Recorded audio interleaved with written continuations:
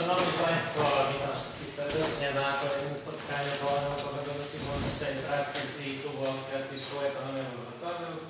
Cieszę się, że Państwo tak licznie przybyli, aby e, porozmawiać o tym, jak będą wakaty. E, Korzystając e, z okazji, chciałbym zaprosić na kolejne spotkanie za trzy tygodnie, w nowym roku. E, Będziemy rozmawiać na temat polskiej myśli liberalnej w dwudziestoleciu międzywojennym. E, A naszym dzisiejszym prelegentem jest pan Jakub Wyżder-Wiśniewski. E, Temat spotkania anarcha rynkowa, e, chaos czy porządek. Bardzo proszę o tutaj. Dziękuję wszystkim za przybycie i za okazane zainteresowanie. Wystąpienie moje dotyczyć będzie, jak już zostało powiedziane, tematu tak zwanej anarchii rynkowej, który to temat jest tematem nieodmiennie popularnym i nieodmiennie kontrowersyjnym wśród tak zwanych kręgów wolnościowych, czy około wolnościowych. Ja osobiście uważam, że ta popularność jego i kontrowersyjność bierze się z tego, że ten temat jest niejako pewnym ostatecznym kamieniem probierczym, czy papierkiem lakmusowym, który sprawdza, jak daleko zdaniem danej osoby można posunąć, poprowadzić te wszystkie argumenty i natury moralnej, i natury ekonomicznej, które to argumenty wzmacniają jak gdyby, y, te, te wszystkie wartości liberalne, czy też libertariańskie, takie jak bezwarunkowy szacunek dla wolności osobistej, bezwarunkowy szacunek dla swobody działania, swobody zrzeszania się, swobody wymiany dóbr i usług itd. Większość z Państwa pewnie zna, większość, może wszystkie te argumenty. Wszystkie to może nie, bo jest bardzo dużo, ale tak dla porządku e, chciałbym w bardzo dużym skrócie te właśnie argumenty tutaj przytoczyć.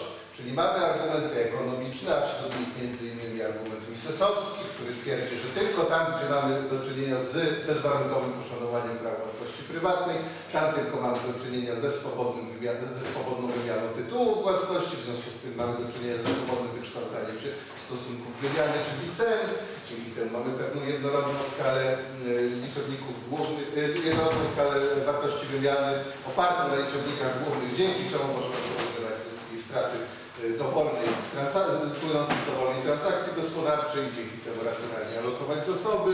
Mamy tutaj w tej kategorii argument Hayekowski, mówiący, że tylko tam, gdzie mamy pełne poszanowanie własności y, prywatnej i wolności osobistej, tam mamy do czynienia z wykształcaniem się pewnego rodzaju horyzontalnej struktury niezależnych ośrodków decyzyjnych, które mogą y, w pełni swobodnie agregować rozproszoną w społeczeństwie informację, zwłaszcza informacje o charakterze utajonym czy silnie kontekstowym, związanym ze szczególnymi, szczegółowymi okolicznościami miejsca i czasu. Mamy tam argumenty, y, bardzo stary argument, jeden z najstarszych y, z tej kategorii, argument Smithowski albo Smithowsko-Midowski, mówiący, że tylko tam, gdzie mamy do czynienia z pełnym szacunkiem dla wolności osobistej i własności prywatnej, tam się wykształca konkurencyjna struktura pobudek, która sprawia, że ceny produktów muszą spadać, natomiast ich jakość musi rosnąć i swoje potrzeby my jesteśmy w stanie zaspokoić tylko wtedy, kiedy jak najskuteczniej i jak, jak najtaniej zaspokajamy potrzeby cudze. Jest tam argument Bomba-Werkowski, który twie- mówi, że tylko tam, gdzie mamy do czynienia z, z pełnym poszanowaniem dla swobody działania i dla własności prywatnej, tam tylko możemy jako właściciele rozmaitych aktywów angażować się w bardziej okrężne, bardziej kapitałochłonne procesy produkcyjne i w związku z tym postępuje akumulacja dóbr kapitałowych, samym wzrost krajowej produktywności pracy, wzrost gospodarczy, rozwój gospodarczy i tak dalej. Także to jest kilka przykładów takich argumentów ekonomicznych. Są też y, analogiczne argumenty natury moralnej, tylko pełne poszanowanie dla wolności osobistej i własności prywatnej jest zgodne z poszanowaniem dla y, praw naturalnych. Każda inicjacja agresji wobec wolności i własności drugiego oznacza, że przyznaliśmy sobie te same prawa naturalne, których odmawiamy drugiemu, co nas wikła w pewnego rodzaju sprzeczność logiczną. Są argumenty utylitarne, które są de facto tymi argumentami ekonomicznymi, które już przytoczyłem, połączonymi z paroma podstawowymi zdroworozsądkowymi przesłankami natury moralnej, mówiącymi, że bogactwo jest lepsze od biedy, możliwość zaspokojenia większej liczby swoich potrzeb jest e, lepsze niż e, możliwość zaspokojenia mniejszej liczby swoich potrzeb i tak. Są argumenty natury mm, y, eudaimonistycznej czy arystotelesowskiej mówiące, że tylko tam, gdzie szanujemy nawzajem swoje, swoją wolność osobistą i własność prywatną, tam możemy swobodnie na zasadzie prób i błędów kształtować pewne, pewne mm, pozytywne przymioty charakteru, intelektualne, moralne, estetyczne. I tam się spełniamy w swoim człowieczeństwie, dążymy do tego y, arystotelesowsko rozumianego stanu szczęśliwości, który właśnie osiągamy poprzez wykształcenie w sobie pewnej jedności cnót czy pozytywnych przymiotów charakteru i tak dalej. Więc jest pełno tych argumentów i teraz ten spór, czy to pytanie o tą tak zwaną anarchię rynkową, to jest pytanie, to jest spór o to, jak daleko te argumenty sięgają. To jest spór o to, czy istnieją takie obszary ludzkiej działalności, gdzie te argumenty nie znajdują zastosowania. Zwłaszcza jeśli uznamy, że to są najważniejsze obszary ludzkiej działalności, być może te, które, y, których sprawne funkcjonowanie jest warunkiem sine qua non wykształcenia się w ogóle jakichkolwiek innych obszarów ludzkiej działalności, gdzie właśnie te argumenty są w stanie obowiązywać. No i tymi tutaj newralgicznymi, najbardziej newralgicznymi obszarami działalności społecznej są obszary takie jak y, y, praworządność, obronność, sądownictwo i tak. Ktoś, kto uważa, że te obszary jak gdyby można wyjąć z tego obszaru obowiązywania tych wszystkich argumentów, które przytoczyłem, ten będzie przeciwko tej tak zwanej anarchii rynkowej. Ten, kto uważa, że można również w tych obszarach te właśnie argumenty, które wymieniłem, stosować, ten uzna, że jest to pożądany stan rzeczy, do którego należałoby dążyć. I teraz ja bym y, nie chciał, żeby Inaczej, ja bym chciał ten y, wykład mój wprowadzić na nieco bardziej zaawansowany poziom. Nie chciałbym w tym wykładzie opisywać instytucjonalnej struktury tej tak zwanej anarchii rynkowej, czyli nie chciałbym na przykład opowiadać o tym, jak to konkurujące ze sobą agencje arbitrażowe muszą wydawać bezstronne i sprawiedliwe wyroki, ponieważ jeśli nie będą ich wydawać, to będą poddawane ostracyzmowi ze strony y, klientów. Y, nie chciałbym mówić o tym, y, że agencje obrony musiałyby być tak naprawdę tego rodzaju systemie agencjami obrony, a nie jakimiś takimi quasi-mafijnymi agencjami a, atakującymi innych, że one musiałyby się ograniczyć do tej funkcji defensywnej, a nie do funkcji ofensywnej, bo jako, że w tym systemie każdy w pełni sam ponosi koszty swojej działalności, to jeśli by chciały być agencjami ofensywnymi, to musiałyby zwiększyć składki dla swoich klientów, a to by osłabiło ich pozycję konkurencyjną i tak dalej. Innymi słowy, nie chciałbym opisywać tych być może w większości z Państwa znanych y, argumentach, które stanowią de facto opis tego, jak te wszystkie wcześniejsze argumenty, zwłaszcza natury ekonomicznej, by się stosowały do tego właśnie obszaru, jakim jest obszar y, obronnościowy i, i, sądowniczy, czy też arbitrażowy, bo to jest, wydaje mi się, temat stosunkowo dobrze przerobiony, znany, opisany w literaturze powstającej już od y, plus minus 50 lat. Dużo też w internecie można znaleźć tego rodzaju wykładów. Więc ja bym nie chciał mówić o tym, jak te argumenty ekonomiczne i te argumenty moralne znajdowały zastosowanie, w jaki sposób one znajdowały zastosowanie w tym obszarze, czy w tych obszarach, jakimi, jak, do jakich zalicza się sądownictwo i obronność, tylko bym się chciał skupić na paru argumentach, można by je nazwać y, argumentach natury filozoficzno-prawnej, które starają się właśnie podważyć zasadność obowiązywania tego całego zbioru argumentów do tych konkretnych obszarów. Ja przygotowałem trzy tego rodzaju argumenty, moim zdaniem najbardziej ciekawe, najbardziej godne uwagi, które chciałbym tutaj opisać i które chciałbym odeprzeć. Pierwszy tego rodzaju argument to jest argument związany z z taką dyscypliną wiedzy, czy z taką szkołą badawczą, która się nazywa konstytucyjną ekonomią polityczną. Najwybitniejszym jej przedstawicielem jest prawdopodobnie James Buchanan, noblista, albo James Buchanan i Gordon Talbot, dwóch yy, Gordon Talbot nie był noblistą, ale był częstym współautorem, takim naj, najbardziej znanym współpracownikiem Buchanana. Yy, I to jest taki argument, no można go nazwać właśnie argumentem konstytucyjnym. Ten argument, czy też kontrargument brzmi następująco. W tego rodzaju systemie, tej tak zwanej anarchii rynkowej, nie, był, nie, nie obowiązywałaby y, żadna, nie istniałaby tam żadna taka oprawa konstytucyjna. Nie byłoby tam żadnej, y, żadnego powszechnie obowiązującego zbioru reguł, zasad, e, zakazów i nakazów, który by mógł obowiązywać wszystkich, włącznie z tymi wszystkimi konkurującymi ze sobą agencjami e, obrony i, i, i arbitrażu i który mógłby krępować ich wszystkie potencjalnie niepożądane działania. E, Także to jest taki argument, który mówi, że jakiś odgórnie, w sposób monopolistyczny narzucony system, czy też zbiór ograniczeń konstytucyjnych jest warunkiem niezbędnym tego, żeby powstały pewne ramy instytucjonalne, w obrębie których te konkurujące ze sobą agencje obrony, czy też agencje arbitrażowe mogą współistnieć i działać w sposób naprawdę efektywny. I yy, na ten argument można odpowiedzieć w sposób następujący. Przede wszystkim ten argument opiera się na pewnej dwuznaczności. On się opiera na dwuznaczności w zakresie tego, jak definiujemy słowo konstytucja. Bo z jednej strony konstytucja to rzeczywiście może być pewnego rodzaju formalny dokument, najwyższy akt prawny, który w sposób y, y, taki bezpośredni, explicit wyszczególnia pewnego rodzaju y, reguły, zasady, nakazy i zakazy, których ten ta cała instytucjonalna oprawa e, sądowniczo-obronna ma się trzymać, która stwarza pewne ograniczenia i potencjalnie niepożądanych działań, ale istnieje też drugie znaczenie słowa konstytucja, nieco starsze, takie można powiedzieć bardziej organiczne, czy też biologiczne, quasi-biologiczne, czyli konstytucja rozumiana jako zespół, y, zbiór y, cech czynnościowych danego organizmu, w tym danego organizmu społecznego. W tym sensie możemy mówić o konstytucjach różnych społeczeństw, gdzie żadne formalne, najwyższe akty prawne nie istnieją. Na przykład y, y, konstytucję w pierwszym tego słowa znaczeniu miał Związek Sowiecki. I Konstytucja Związku Sowieckiego gwarantowała wolność sumienia, wolność wyznania, wolność zrzeszania się, nietykalność cielesną, wolność słowa itd. Tak itd.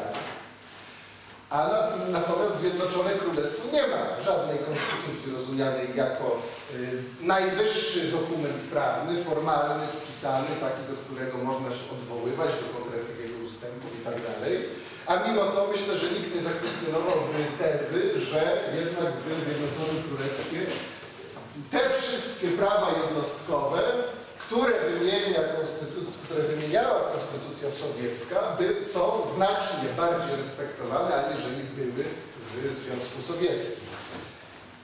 No więc co to jest ta konstytucja w drugim tego słowa znaczeniu? Co, co to znaczy konstytucja jako zes, zespół y, cech czynnościowych organizmu społecznego? To są te tak zwane instytucje miękkie, to są tradycje rozmaite, które w obrębie danego społeczeństwa występują, jego kultura, y, jego wartości powstałe na bazie tych wartości struktury pobudek, struktury motywacji, jakaś kultura organizacyjna i tak.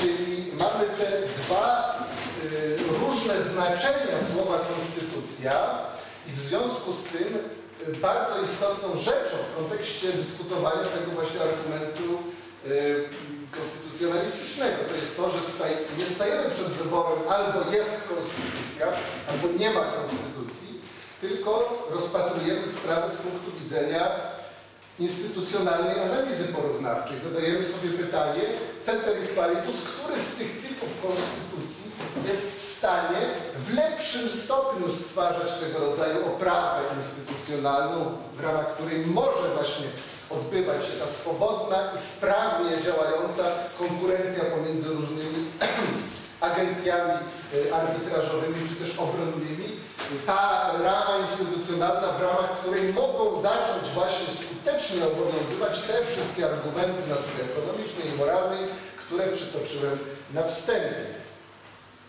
E, I teraz, e, jeśli najpierw weźmiemy pod lupę konstytucję w pierwszym tego słowa znaczeniu, czyli tą konstytucję jako formalny dokument, który jest tworzony przez przedstawicieli monopolistycznego aparatu przemocy kontrolującego dane, e, dany obszar, czy społeczeństwo zamieszkujące dany obszar. E, w jakim stopniu tego rodzaju dokument jest w stanie stworzyć tego rodzaju prawo instytucjonalne? Można sugerować, zasugerować, że w stosunkowo niewielkim stopniu. I można się tutaj na przykład odwołać do jednego z najbardziej słynnych i najbardziej kontrowersyjnych e, stwierdzeń pochodzących z filozofii Wittgensteina. Wittgenstein jest między innymi znany z takiej tezy, wtedy kiedy ją ogłosił dosyć kontrowersyjnej, obecnie już mniej, chyba jednak zaakceptowanej przez większą część środowiska filozoficznego, że nie może istnieć coś takiego jak samo wyruszająca się reguła. Logicznie rzecz biorąc, coś takiego istnieć nie może. I on to zilustrował, sugerując, że dobrym przykładem takiej niemożliwości istnienia samo y, wymuszającej się reguły jest niemożliwość istnienia tak, języka prywatnego. Języka prywatnego, czyli języka, który jest stosowany tylko i wyłącznie przez jedną osobę. Bo jeśli jakiś język, jakieś, jakieś narzędzie komunikacyjne oparte na pewnego rodzaju zbiorze reguł właśnie, to jest bardzo ważne. Język to jest coś, co jest oparte na zbiorze reguł. Jeśli mielibyśmy do czynienia z językiem, którego używa tylko jedna osoba, to nie mielibyśmy tutaj do czynienia z żadnym logicznym rozróżnieniem na rzeczywiste trzymanie się tego, reguł tego języka, używanie reguł tego języka w sposób poprawny, a twierdzeniem, że się trzyma reguł tego języka. Taka osoba mogłaby tak naprawdę wypowiadać dowolne kwestie, a potem ex post twierdzić, że cały czas używa tego języka w sposób poprawny, no bo któż inny może to zweryfikować, jak nie tylko i wyłącznie ta osoba. W związku z tym ona może powiedzieć wszystko. Te reguły językowe nie są tak naprawdę żadnymi regułami, są pseudoregułami, są takimi wydmuszkami reguł. I teraz jeśli to przełożyć na ten grunt instytucjonalno-konstytucyjny, to w momencie, kiedy mamy do czynienia z tym formalnym dokumentem, najwyższym aktem prawnym, który został stworzony przez przedstawicieli pewnego takiego właśnie monopolistycznego, monocentrycznego strażnika prawa i porządku i jednocześnie ten dokument, jego zapisy są interpretowane przez przedstawicieli tej samej instytucji egzekwowane przez przedstawicieli tej samej instytucji, to można by zasugerować, że mamy tutaj do czynienia z sytuacją analogiczną do tej sytuacji z językiem prywatnym. Że zawsze przedstawiciele tej monocentrycznej, monopolistycznej instytucji mogą ex post twierdzić, że y, oni trzymają się reguł, które sami sobie wyznaczyli. Tutaj, jeśli już jesteśmy na gruncie szeroko rozumianych nauk społecznych, to można by zasugerować, że jeszcze jednym analogicznym przykładem jest argument Misesa, już wspominany przeze mnie, o niemożliwości istnienia, tam mówiliśmy o języku prywatnym, tak zwanym, tutaj byśmy mogli powiedzieć, mówić o cenach prywatnych, czyli cenach wyznaczanych przez jeden jakiś monopolistyczny twór, jakim jest państwo na przykład, tak jak to miało miejsce w systemie komunistycznym. I te ceny też nic nie znaczą.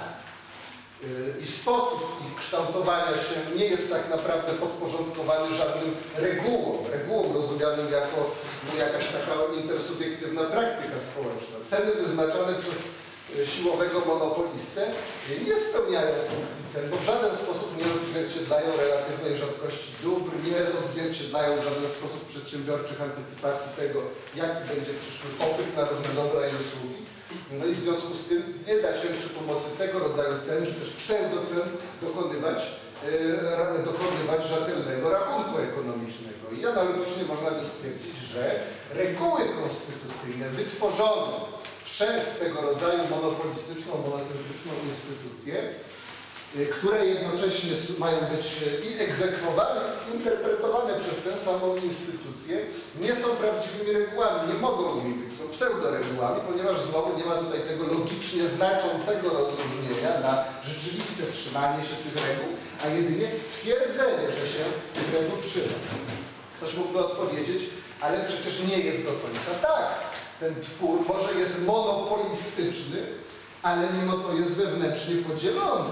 I właśnie dobra instytucjonalna oprawa konstytucyjna to jest taka, która dzieli wewnętrznie kompetencje tego rodzaju monopolistycznej instytucji, więc jest tutaj jakiś zewnętrzny ogranicznik. To nie jest sytuacja tak jak z tym językiem prywatnym czy z tymi cenami prywatnymi. Po to jest ten tutaj podział władz, po to jest ten tak zwany system checks and balances, żeby ten wewnętrznie podzielony twór rzeczywiście mógł weryfikować sam siebie i ograniczać sam siebie. I, zje, i, i y, jest w tym stwierdzeniu ziarno prawdy, tylko że nawet jeśli przyjmiemy, że w obrębie tego monopolistycznego tworu, y, tego monopolistycznego, tej monopolistycznej agencji ochronno-sądowniczej, jaką jest y, państwo, występuje tego rodzaju wewnętrzne, y, wewnętrzny podział pomiędzy różnymi grupami interesów, które mają różne kompetencje, to mimo wszystko dalej jest to instytucja monopolistyczna. W związku z tym w pewnym wystarczająco ogólnym tego słowa znaczeniu, to tak naprawdę wciąż jest jedna grupa interesu, czyli grupa, która ma wspólny interes zdobycia władzy, e, za, zachowania tej władzy na jak najdłużej i kontrolowania społeczeństwa przy pomocy tej władzy. Czyli e, w takiej sytuacji, w której na przykład społeczeństwo e, zaczyna protestować przeciwko temu, co postrzega jako próba jakiejś likwidacji, nawet na poziomie takich pozorów tego wewnętrznego rozdrobnienia, to tu już raczej by należało powiedzieć, że to społeczeństwo, czyli taki e, pewien organ autentycznie zewnętrzny, osobny e, wobec państwa, to jak w tym klasycznym rozróżnieniu Noka, mamy państwo versus społeczeństwo, to tam społeczeństwo jest tak naprawdę jedynym skutecznym strażnikiem tych konstytucyjnych ograniczeń. Społeczeństwo jak gdyby tutaj swoją kontrinterpretację wysuwa i buntuje się przeciwko temu, że państwo próbuje się wewnętrznie za bardzo konsolidować. I tylko w tym sensie można powiedzieć, yy, tylko w tym sensie możemy tutaj mówić o tym, że istnieje jakiś zewnętrzny ogranicznik, który sprawia, że to nie jest taka sytuacja jak z tym językiem prywatnym, czy że z tymi, czy z tymi cenami prywatnymi, że to są takie zupełne wydmuszki. E, więc e, ten wewnętrzny, e, to wewnętrzne rozdrobnienie, ten wewnętrzny trójpodział, ten, ten checks and balances, jeśli oderwać, rozpatrywać to w zupełnym oderwaniu od reakcji społecznych, w tym jakichś takich reakcji, które rzeczywiście w sposób konsekwentny i zasadniczy będą zawierały w sobie jakiegoś takiego ducha obywatelskiego niebosłuszeństwa, to to byśmy mogli porównać do czegoś, co w historii gospodarczej było nazywane socjalizmem rynkowym. Były patron Akademii Ekonomicznej Oskar Lange miał właśnie taki pomysł, że mogą istnieć tak zwane ceny symulowane, czyli że menedżerowie y, w socjalistycznej gospodarce mogą y, podejmować próby bawienia się w przedsiębiorców, bawienia się w konkurencję, bawienia się w wypracowanie, wypracowywanie zysków itd.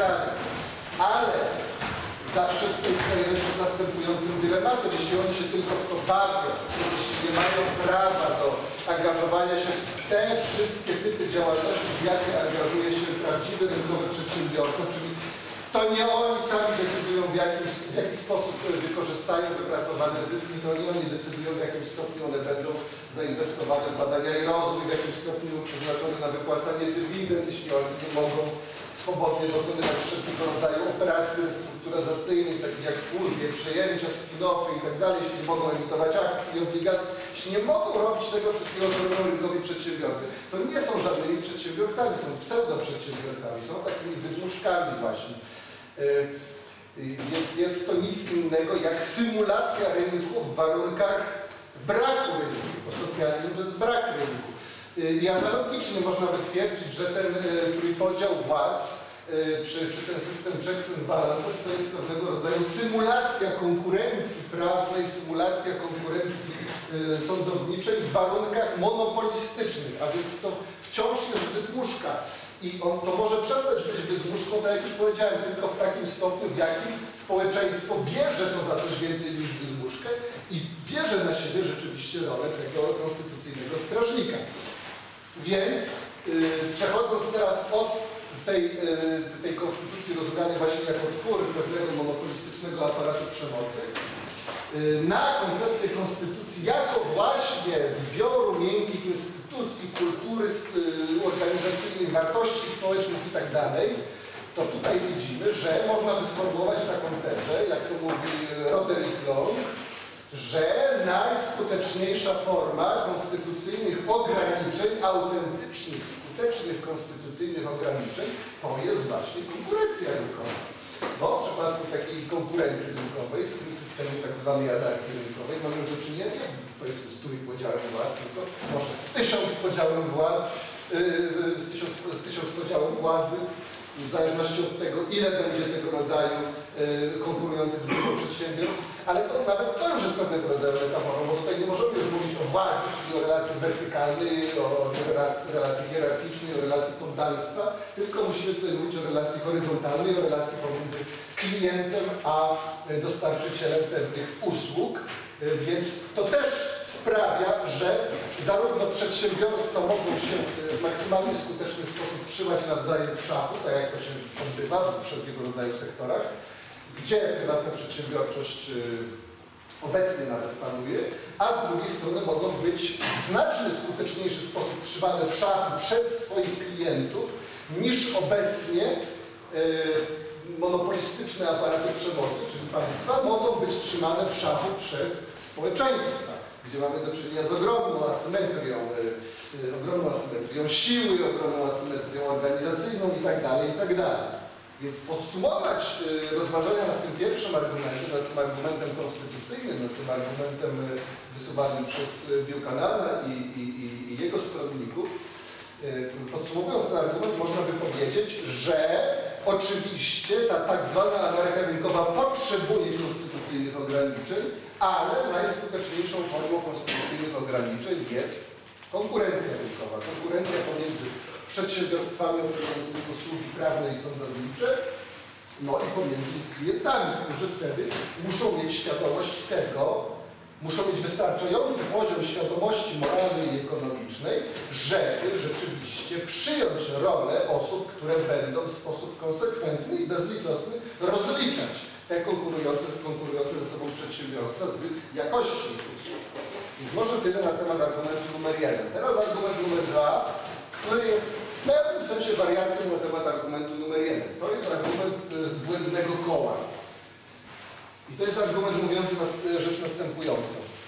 Jeśli zakładamy, y, że w obszarze sądownictwa i obronności mogą obowiązywać te wszystkie argumenty natury ekonomicznej, te, te, te argumenty o systemie cenowym, o konkurencyjnej strukturze pobudek i, tak, i o, o jakiejś innowacyjności, która jest typowa dla systemów konkurencyjnych i przedsiębiorczych i tak dalej, to musi istnieć jakiś system prawny, który w skuteczny sposób zabezpiecza prawa własności i w skuteczny sposób wymusza, czy umożliwia skuteczne wymuszanie zawartych umów. A jeśli tego, tego rodzaju system, tego rodzaju oprawa instytucjonalna jest niezbędna do tego, żeby się ten przedsiębiorczy, konkurencyjny system mógł wykształcić, to tenże system sam nie może wyłaniać z siebie tego rodzaju systemu prawnego. Bo jeśli przyjmiemy, że ten system jednocześnie em, zależy od istnienia tego skutecznego zabezpieczania praw własności i umów yy, i zakładamy, że on wyłania z siebie możliwość skutecznego egzekwowania umów i chronienia praw własności, to obracamy się w błędnym kole. Zakładamy, że pewna struktura instytucjonalna, której bronimy, wykształca tego rodzaju zjawisko, od istnienia którego zależy istnienie tejże struktury. Więc to jest zarzut o to, że tutaj mamy do czynienia z pewnego rodzaju błędnym kołem. Ale wydaje mi się, że tak naprawdę tutaj żadnego błędnego koła nie ma. Y, Bo tak jak na przykład mamy teoremat regresji w teorii monetarnej, tak samo tutaj myślę, że mamy pewien analogiczny y, teoremat regresji w odniesieniu do instytucjonalnej struktury produkcji. Bo proszę zwrócić uwagę, że ten argument, który rzekomo sugeruje istnienie jakiegoś błędnego koła w rozumowaniu na temat y, tych, tych, tych rozmaitych struktur instytucjonalnych, można odwrócić. Można powiedzieć, ok, istnienie tego rodzaju anar- anarchii rynkowej wymaga możliwości skutecznego zabezpieczania praw własności i zawartych umów, co z kolei wymaga istnienia jakiegoś systemu prawnego wcześniejszego jak gdyby logicznie niż ten system anarchii rynkowej, ale z kolei istnienie tegoż systemu y, zabezpieczania praw własności i zabezpieczania e, zawartych umów wymaga uprzedniego istnienia rynku. No, żeby taki system prawny mógł powstać, no to oczywiście wymagane jest y, jak gdyby zdobycie wystarczającej liczby zasobów. y, No, istnienie takiego systemu prawnego wymaga istnienia odpowiedniej infrastruktury, wymaga istnienia no, po prostu całego szeregu podstawowych zasobów y, y, infrastrukturalnych, y, jakichś ży- żywieniowych, obronnych i tak który to zasób nie mógłby powstać, gdyby w obrębie danej, danej społeczności nie istniały już jakieś takie miękkie instytucje, które umożliwiają wchodzenie w transakcje rynkowe. Y, I to można na przykład lepiej zilustrować na przykładzie dwóch y, klasycznych y, teorii tego, w jaki sposób powstają terytorialne aparaty przemocy, czyli państwa. Jest z jednej strony teza Hobbesowsko-Lokowska, że to jest kwestia jakiejś umowy społecznej, a z drugiej strony jest hipoteza Oppenheimerowsko-Olsonowska, mówiąca, że to jest y, tego rodzaju instytucje powstają wskutek przekształcania się tak zwanych wędrujących bandytów w bandytów osiadłych. I teraz niezależnie od tego, którą z tych tez przyjmiemy za prawdziwą, musimy zdać sobie sprawę, że czy to zawarcie jakiejś hipotetycznej umowy społecznej, czy to przekształcenie się jakiejś grupy wędrujących bandytów w grupę osiadłych bandytów wymaga wcześniejszego istnienia rynku, wymaga wcześniejszego istnienia praw własności prywatnej, e, swobody wymiany tytułów własności, e, wymuszenia, wymuszania skutecznego rozmaitych kontraktów, akumulacji dóbr kapitałowych itd. Bo ani do żadnej umowy społecznej nie dojdzie, ani też nie dojdzie do zgromadzenia przez pewną grupę wędrujących bandytów wystarczającego bogactwa, wystarczających zasobów, żeby się oni mogli w bandytów osiadłych prze, przekształcić, jeśli e, tego rodzaju jeszcze logicznie wcześniejsza struktura miękkich instytucji rynkowych jak najbardziej nie istnieje. Więc teraz widzimy, że nie jest tak, że te wszystkie e, argumenty ekonomiczne, które wymieniłem na początku, misesowskie, hajekowskie, bumbawerkowskie itd., itd., y, są w stanie obowiązywać tylko wtedy, kiedy istnieje już jakiś formalny system prawny. Nie, one muszą obowiązywać wcześniej, bo ich obowiązywanie jest warunkiem powstania jakiegokolwiek systemu prawnego. I w związku z tym widzimy, że to, jaką one formalną postać przybiorą, czy to będzie forma monopolistyczna i monocentryczna i przemocowa, tak jak w przypadku klasycznych państw, czy też to będzie forma e, przedsiębiorcza, policentryczna, konkurencyjna, tak jak to by miało miejsce w przypadku tej tak zwanej anarchii rynkowej, to już jest kwestia wtórna. I to jest kwestia, która już zależy wyłącznie od y, tego, jak te miękkie instytucje się rozwiną, od tego, jak, jaki jest stan, powiedzmy, ekonomicznej i moralnej świadomości społeczeństwa. Tego, jakiego rodzaju rozwiązania e, dane społeczeństwo uzna za najbardziej e, korzystne, jeśli chodzi o zabezpieczanie tych wszystkich wartości e, zawartych w tych e, instytucjach miękkich. Y, Także no, widzimy, że tutaj żadnego błędnego koła w rozumowaniu nie ma. To wrażenie, że istnieje jakiegoś rodzaju błędne koło w rozumowaniu tutaj oparte jest na niewystarczającej świadomości tego, że instytucjonalna struktura produkcji ma wiele poziomów, wiele etapów. Tak samo jak y, y, monetarna struktura produkcji ma wiele poziomów i wiele etapów. Na początku jest gospodarka parterowa, ale wskutek pewnego rodzaju procesów ewolucyjnego ona wykształca z siebie gospodarkę pieniężną.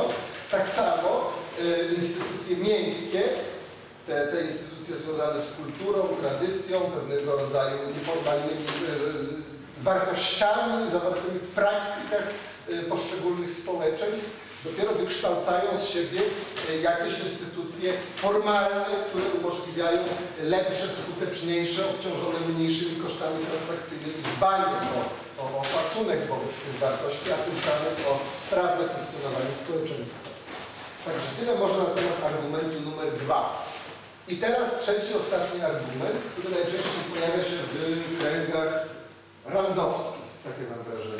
I to jest argument y, argument y, na temat tak zwanego decydenta ostatniej instancji. Argument brzmi tak, że w tym systemie anarchii rynkowej nie ma żadnego decydenta ostatniej instancji, który jest w stanie na zasadzie Roma locuta causa finita powiedzieć ma być tak, a nie inaczej i w związku z tym uciąć wszelkiego rodzaju spory, a nie dopuścić do tego, żeby one się toczyły w nieskończoność, jakby to zdaniem zwolenników tego rodzaju argumentów musiało być w systemie tej tak zwanej anarchii rynkowej. I teraz, e, jaki jest błąd związany z tym argumentem? Błąd związany z tym argumentem polega na wierze w to, że istnieje coś takiego jak decydent ostatniej instancji, który jest w stanie powiedzieć, ma być tak, a nie inaczej i wymusić zgodność zachowań innych ze swoimi decyzjami. Nie ma czegoś takiego, nie ma czegoś takiego. Yy, Weźmy najpierw pod lupę ten system yy, znany nam, istniejący w większej części świata, czyli właśnie ten system monopolistyczny, monocentryczny, państwowy. Ktoś by mógł powiedzieć, że tak, państwo jest właśnie takim decydentem ostatniej instancji. Z tym, że tak nie jest. I to możemy sobie zilustrować na dwóch przykładach. Po pierwsze, patrząc na samą wewnętrzną strukturę państwa. Nie ma żadnego decydenta ostatniej instancji, który jest w stanie wymusić współpracę sprawną, bezkonfliktową, czy przynajmniej wystarczająco bezkonfliktową współpracę pomiędzy poszczególnymi organami władzy państwowej. Teoretycznie można sobie wyobrazić, że egzekutywa mówi, że nie będzie egzekwować tych decyzji, które podjęła legislatywa. Można sobie wyobrazić, że judykatywa ogłosi decyzje podejmowane przez legislatywę za niekonstytucyjne i w związku z tym nie, nie, nie, nie, nie wolno ich y, jak gdyby zaakceptować. Tak można sobie wyobrazić, że legislatywa odpowie na to, nie odpowie nas to. Także widzimy, że nie ma żadnej instytucji nadrzędnej, która jest w stanie w sposób logicznie, konieczny, obowiązujący wymusić współpracę między tymi instytucjami.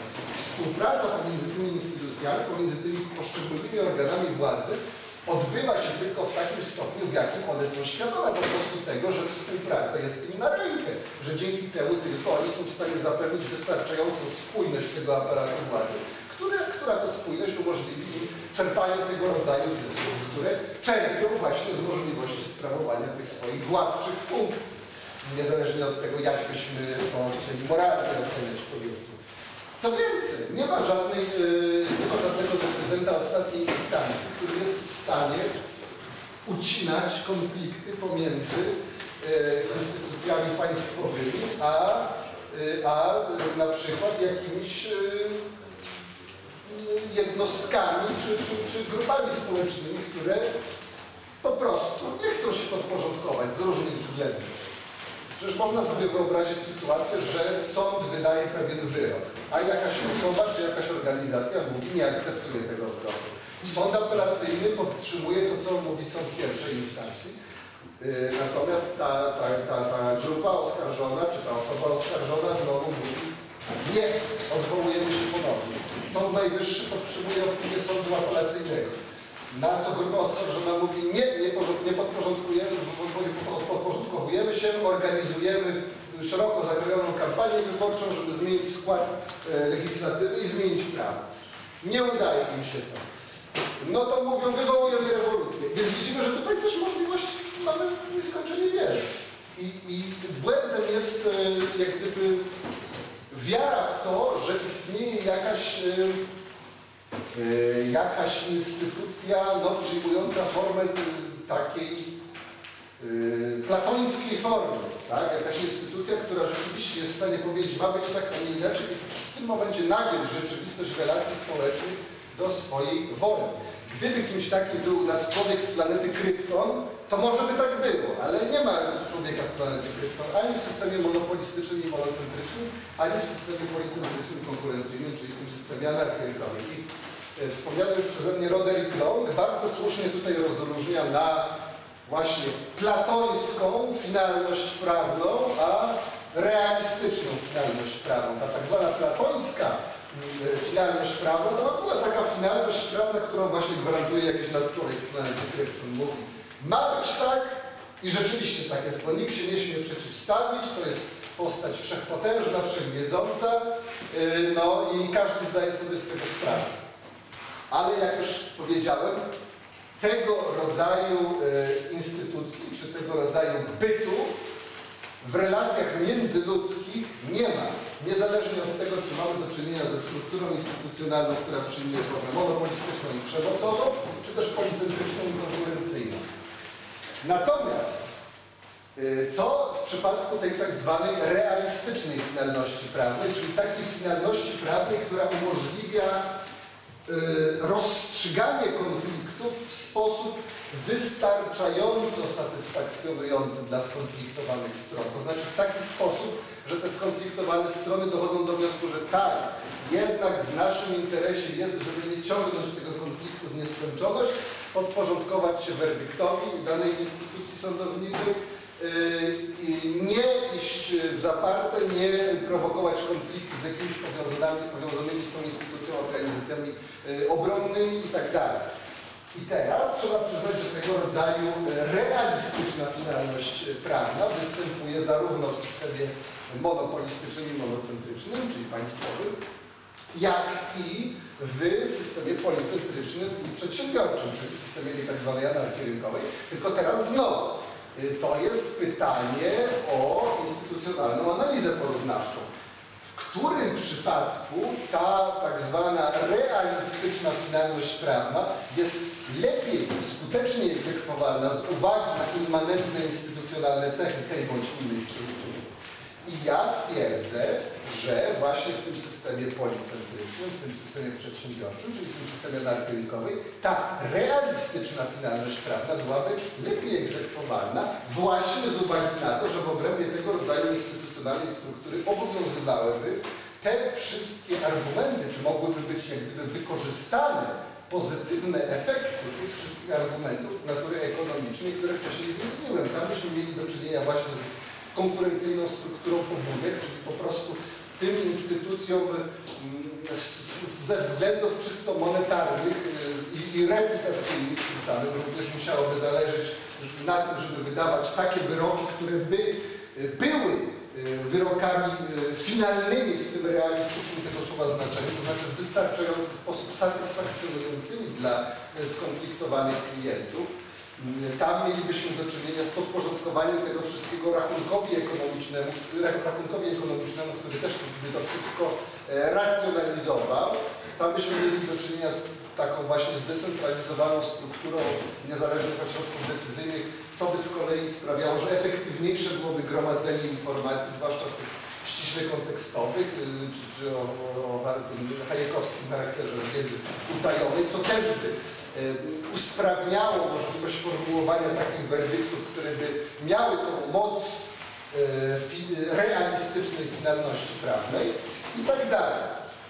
Więc znowu to nie jest kwestia tego, czy mamy możliwość korzystania z jakiejś finalności prawnej, czy z jakiegoś decydenta ostatniej instancji, tylko to jest kwestia tego, w obrębie jakiej struktury instytucjonalnej mamy możliwość korzystania z, e, z takich instytucji, które w większym stopniu gwarantują tą realistyczną finalność prawną. Nie tą wydumaną, platońską stronę kryptą, tylko realistyczną, taką, która sprawia, że po prostu skonfliktowane strony, słysząc jaki jest werdykt, e, mają największą szansę na to, że usłyszą taki werdykt, który w maksymalnym stopniu, w maksymalnym stopniu, może nie w pełnym stopniu, ale w wystarczającym stopniu zaspokoi ich e, roszczenia, jak również ich oczekiwania wobec tego, e, jak należy się wobec tego werdyktu zachować dla swojej własnej korzyści, dla, dla swojej własnej wygody życia,